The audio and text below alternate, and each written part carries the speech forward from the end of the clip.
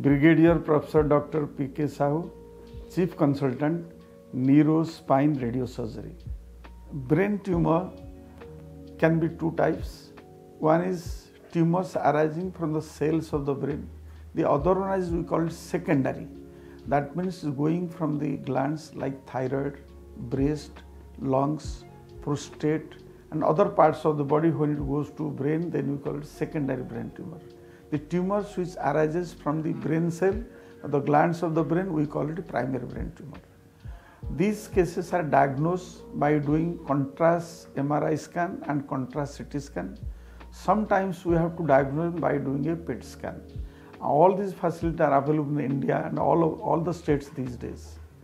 And the treatment for brain tumors remains that if the brain tumor which is causing pressure effect and the individual is fit, in that situation surgery always is the first choice.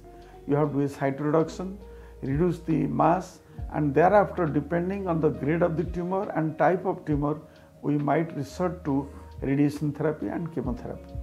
But these days those who are unfit for surgery or those who have recurrence after one operation, SRS, stereotactic radiosurgery in the form of X knife, gamma knife, CyberKnife is available.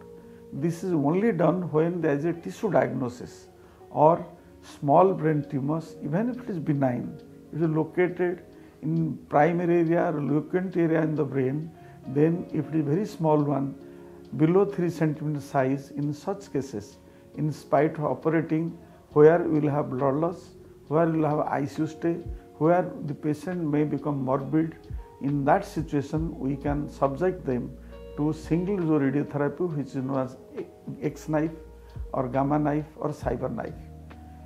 Gamma knife is the instrument of the neurosurgeon and normally the gamma knife SRS given by the neurosurgeons. But X knife and cyber knife, the neurosurgeon as well radiation oncologist and physicists, they combinedly decide and give radiotherapy or stereotactic radiosurgery they do. And these are quite simple. Patient can walk to the SRS room, then they will do a CT scan, a MRI scan. Thereafter, you have to view the images, CT and MRI images, and you have to plan in a planning system which we call contouring of the images.